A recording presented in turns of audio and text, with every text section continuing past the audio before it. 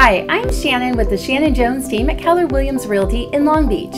I'm here today with Brandi Zamora to answer one of the frequently asked questions we hear. Brandi, do home warranties cover pre existing conditions? Great question, Shannon. And the answer is yes and no. So, no, they do not cover pre existing conditions. If there is something currently wrong with the property, in general, it is not covered. However, if it's an unknown pre existing condition, that means the real estate agent did not see it, the homeowner didn't notice it, and it was not called out an inspection, then that can be covered. However, if you get a home inspection and they call out issues, you should always get them fixed because those would be considered pre existing conditions.